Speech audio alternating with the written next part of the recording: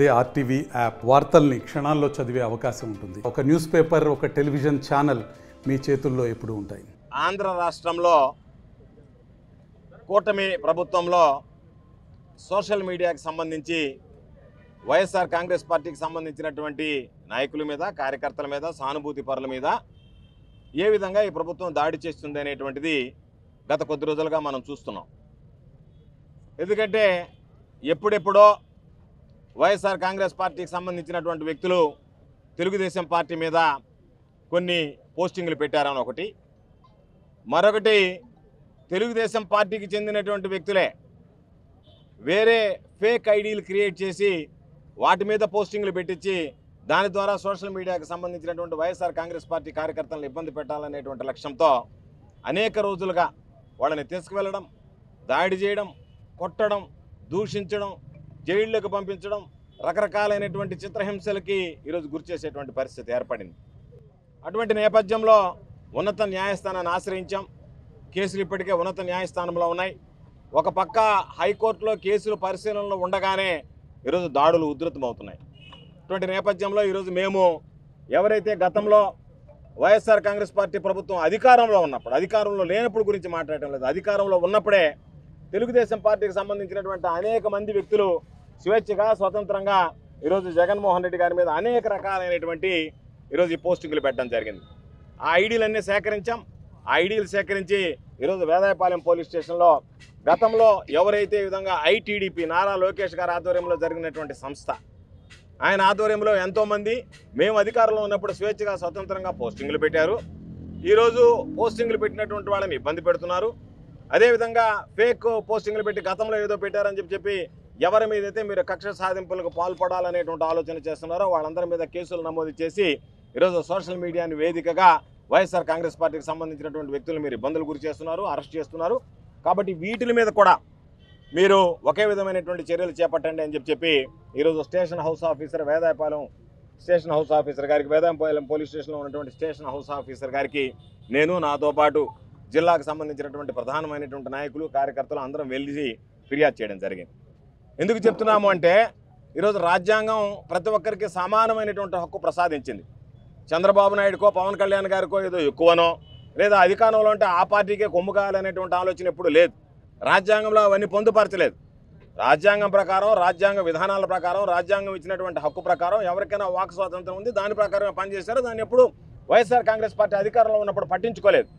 ఈరోజు దాన్ని ఏదో బూచిగా చూపించి ఈరోజు మమ్మల్ని ఇబ్బంది పెట్టడానికి అంటే మా గొంతును నొక్కడానికి ఈ ప్రభుత్వం సూపర్ సిక్స్ అమలు చేయకపోయినా ప్రజల్ని మొబ్బపెట్టినా ప్రజల్ని మోసం చేస్తున్నా మీరెవరు గళం ఎప్పకూడదు గళం ఎత్తి మాట్లాడకూడదు ఎత్తితే మిమ్మల్ని లోపల వేస్తామనేటువంటి విధంగా ఈరోజు ప్రవర్తిస్తున్నారు. బహుశా నాకు తెలిసి సోషల్ మీడియాకు సంబంధించి ఇంత దారుణంగా ఏ ప్రభుత్వం కూడా పనిచేసినటువంటి పరిస్థితి లేదు. సుప్రీంకోర్టు తీర్పులు ఉన్నాయి హైకోర్టు అనేక అంశాల మీద తీర్పునివ్వడం జరిగింది. వాటన్నిటినీ బేఖాతరు చేస్తూ మేము మా ఇష్టారాజ్యంగా నియంత్రిత పోకడలతో ఎమర్జెన్సీలో కానీ బ్రిటిష్ పాలనలో కూడా ఇంత దౌర్భాగ్యమైనటువంటి దురదృష్టకరమైనటువంటి పరిస్థితులను చూసి ఉన్నాం అంత దౌర్భాగ్యమైనటువంటి దురదృష్టకరమైనటువంటి పరిస్థితుల్లో ఈరోజు ఆంధ్ర రాష్ట్రంలో కూటమి ప్రభుత్వంలో చంద్రబాబు నాయుడు ముఖ్యమంత్రిగా మనం చూస్తున్నాం. కాబట్టి మీకొక న్యాయం మాకొక న్యాయం కాదు సమన్యాయం పాటించాలి అంటే ఈరోజు దీనికి సంబంధించినటువంటి కేసుల మీద మీరు ఎఫ్ఐఆర్ నమోదు చేయండి అని చెప్పి చెప్పి వేదాపాలెం పోలీస్ స్టేషన్లో ఉన్నటువంటి స్టేషన్ హౌస్ ఆఫీసర్ గారికి ఇవ్వడం జరిగింది. అయితే ఈరోజు అందరికీ తెలియజేసేది ఎంత దారుణం అంటే నా మీద మూడు సోషల్ మీడియాలో కేసులు పెట్టారు. ఆ కేసులు చెప్పుకోవాలంటే నాకే సిగ్గుచేటుగా నవ్వుగా ఉంది. ఒక కేసు అయితే సోమిరెడ్డి నన్ను మూడు లక్షల రూపాయలు లంచం అడిగాడు అని చెప్పి చెప్పి ఫీల్డ్ అసిస్టెంట్ పోస్ట్కి అదే కూటమికి సంబంధించినటువంటి బీజేపీ పార్టీకి సంబంధించినటువంటి వ్యక్తి ప్రెస్ మీట్ పెట్టాడు. ఓ దళితుడు అయ్యా నేను సోమిరెడ్డి విజయం కోసం పనిచేశా ఆయన గెలవాలని కోరుకున్నా గెలిచిన తర్వాత అయ్యా నువ్వు నాకు ఇస్తానన్నటువంటి ఫీల్డ్ అసిస్టెంట్ పోస్ట్ నాకు ఇవ్వమంటే నన్ను మూడు లక్షలు లంచం అడిగాడు కాబట్టి ఈ మూడు లక్షల లంచంతో నేను రక్తమాంసాలు అమ్ముకోవాల్సింది తప్ప నా దగ్గర మూడు లక్షలు లేవు అని నెల్లూరు ప్రెస్ క్లబ్లో మీటింగ్ పెట్టాడు. సోమిరెడ్డి అవినేతుని సోమిరెడ్డి అవినీతిని ఒక దళితుడు ఆవేదనగా వ్యక్తం చేస్తే దానిని ఫార్వర్డ్ చేసిన దానికి నా మీద కేసు పెట్టారు. ఎవరి మీద కేసు పెట్టాలా? ఒక దళితుడు మీకు సంబంధించినటువంటి వ్యక్తిని మూడు లక్షల రూపాయలు లంచం అడిగితే సోమిరెడ్డి మీద కేసు నమోదు చేసి విచారణ చేయాల్సినటువంటి పోలీసులు పాపం ఆ దళితుడు ఆవేదనని సోమిరెడ్డి అవినీతిని బయట మలిస్తే దాన్ని నేను ఫార్వర్డ్ చేశానని చెప్పి చెప్పి నా మీద కేసులు నమోదు చేశారు. కాబట్టి ఇంత దౌర్భాగ్యమైనటువంటి దురదృష్టకరమైనటువంటి పరిస్థితులు అనడం లేదు. కాబట్టి ఈ రోజు నేను వైఎస్ఆర్ కాంగ్రెస్ పార్టీ కార్యకర్తలకి శ్రేణులకి ఒకటే విషయం చెప్తున్నాము ఈ జిల్లాకు సంబంధించి. ఈరోజు మనది కాకపోవచ్చు. ఈరోజు మనకు ప్రభుత్వం లేకపోవచ్చు. ఈరోజు మన మీద దాడులు జరగచ్చు. ఈరోజు మన మీద దౌర్జన్యాలు జరగచ్చు. ఈరోజు మన మీద కేసులు నమోదు చేయొచ్చు. ఈరోజు మనల్ని అరెస్ట్ చేయొచ్చు.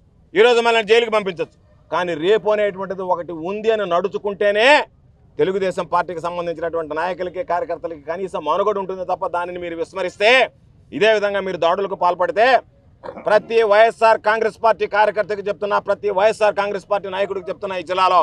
ఎవరైతే మీ మీద అమానుషంగా ప్రవర్తిస్తున్నారో వాళ్ళ పేర్లు మీరే నమోదు చేసుకోండి.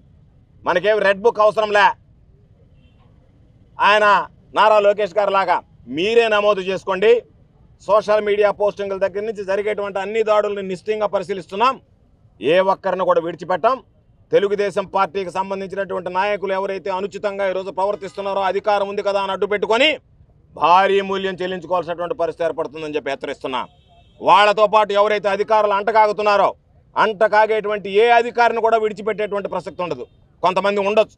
కొంతమంది పాపం ఏ ఉందిలే నేను పదవి వివరమైన చేసి వెళ్ళిపోతానంటున్నారో జగన్మోహన్ రెడ్డి గారు చెప్పినట్టుగా సప్త సముద్రాలు అవతల ఉన్నా సరే ఎవరైతే ఈరోజు అన్యాయంగా తెలుగుదేశం పార్టీ నాయకుల మాటలు విని వైఎస్ఆర్ కాంగ్రెస్ పార్టీ కార్యకర్తలను ఇబ్బంది పెడుతున్నారో వాళ్ళు ఒక్కరిని కూడా ఉపేక్షించేది ఉండదు వదిలిపెట్టేటువంటి ప్రసక్తే ఉండదు అని చెప్పి సందర్భంగా తెలియజేస్తూ కేసులకి అరెస్టులకి జైళ్ళకి భయపడేటువంటి వాళ్ళం కాదు. ఇప్పటికే తెలుగుదేశం పార్టీ మీద తీవ్రమైనటువంటి వ్యతిరేకత రావడం జరిగింది. ప్రజల్లో ఈరోజు చర్చ జరుగుతుంది. చంద్రబాబు నాయుడు మోసం చేశాడు నమ్మించాడు వంచాడు అనేటువంటి విధంగా మాట్లాడుతున్నారు. కాబట్టి వాటి నుంచి బయటపడాలి అంటే మీరు మీ ఉక్కు పాదాలతో మమ్మల్ని అణిచివేయాలి మా గొంతు నొక్కేయాలి. మేము ఎక్కడా మాట్లాడకూడదు.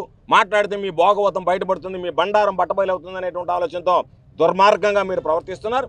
కాబట్టి ఈ ప్రవర్తనని సహించేటువంటి పరిస్థితి ఉండదు. తప్పనిసరిగా ఒకటే గుర్తుంచుకోండి. నేను జిల్లా ఎస్పీ గారికి చెప్తున్నా ఈరోజు ఏదైతే ఆవేదన ఉన్నదో వైఎస్ఆర్ కాంగ్రెస్ పార్టీ శ్రేణుల్లో అది ఆవేశంగా మారితే రోడ్డు ఎక్కడం ప్రారంభిస్తే శాంతి భద్రతల సమస్య తలెత్తితే దానికి ప్రభుత్వం ఈ అధికారులు బాధ్యత వహించాల్సినటువంటి అవసరం ఉందనేటువంటి విషయాన్ని గుర్తుంచుకోండి.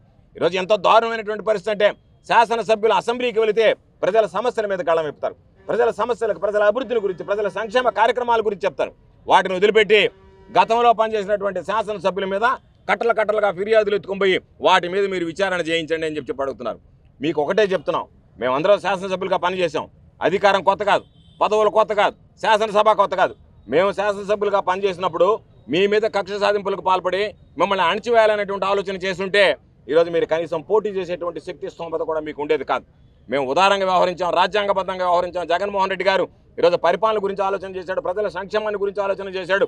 అందరికీ తన మన అనేది లేకుండా సమన్యాయం పాటించి సంక్షేమ పథకాలు అందించాడు కాబట్టే ఈరోజు ఈ ప్రభుత్వానికి గత అతి కొద్ది కాలంలోనే ఈరోజు కొంతమంది ఆశపడి ఓట్లు వేసిన ఈరోజు ఆ తారతమ్యత. ఇరువురి మధ్య ఉన్నటువంటి భేదం గమనించి ఈరోజు జగన్మోహన్ రెడ్డి గారు బ్రహ్మాండంగా చేశారని చెప్పి చెప్పి ఈరోజు ఏ చిన్న కార్యక్రమం ఏర్పాటు చేసినా ఇంత పెద్ద ఎత్తున వందలాదిగా వైఎస్ఆర్ కాంగ్రెస్ పార్టీ నాయకులు కార్యకర్తలు తరలి వస్తున్నారంటే రాబోయేటువంటి రోజుల్లో ఈ సంఖ్య వేలల్లోకి చేరుతుంది తర్వాత లక్షల్లోకి మారుతుంది. ఆ తర్వాత జగన్మోహన్ రెడ్డి గారి ప్రభంజనాన్ని అడ్డుకోవడం ఈ రాష్ట్రంలో ఎవ్వరి తరం కాదు అని చెప్పి చెప్పే సందర్భంగా తెలియజేస్తూ ఇప్పటికైనా మీరు దొంగ కేసులు పెట్టడం మానేయండి ఒకటి న్యాయం పాటించండి మీరు ఏదైతే మా వాళ్ళ మీద కేసులు పెడుతున్నారో అదే సెక్షన్లు పెట్టి ఈరోజు మీకు సంబంధించినటువంటి వ్యక్తులు ఐటీడీపీకి సంబంధించినటువంటి వాటి మీద కేసులు నమోదు చేయండి. మా మీద ఏ విధంగా అయితే మీరు అరెస్టులు చేసి జైలుకి పంపిస్తున్నారో మీ వాళ్ళ మీద చేస్తే ఈ ప్రభుత్వం మీద ప్రజాస్వామ్య వ్యవస్థ మీద ప్రజలకు నమ్మకం కలిగేటువంటి నమ్మకం కలిగేటువంటి అవకాశం ఉంటుందని చెప్పి చెప్పే సందర్భంగా తెలియజేస్తూ ఈరోజు మేము ఇచ్చినటువంటి పిలుపుకి ఎవరైతే వేదాయపాలెం పోలీస్ స్టేషన్ ఏదైతే ఉందో దీనికి వెళ్ళి ఈరోజు ఫిర్యాదు చేయాలి సోషల్ మీడియాకి సంబంధించినటువంటి దాని మీద ఐడియల్తో సహా అని చెప్పి ఇచ్చినటువంటి ఈ పిలుపుకి పెద్ద సంఖ్యలో తరలి వచ్చి సంఘీభావం తెలిపినటువంటి వైఎస్ఆర్ కాంగ్రెస్ పార్టీ నాయకులకి కార్యకర్తలకి మీడియా మిత్రులకి నా హృదయపూర్వకమైనటువంటి ప్రత్యేకమైనటువంటి ధన్యవాదాలు తెలియజేస్తున్నాను. మరిన్ని వీడియోస్ కోసం ఛానల్ని సబ్స్క్రైబ్ చేయండి. లేటెస్ట్ అప్డేట్స్ కోసం వాట్సాప్ ఛానల్ని ఫాలో అవ్వండి. అండ్ లింక్ డిస్క్రిప్షన్లో ఉంది.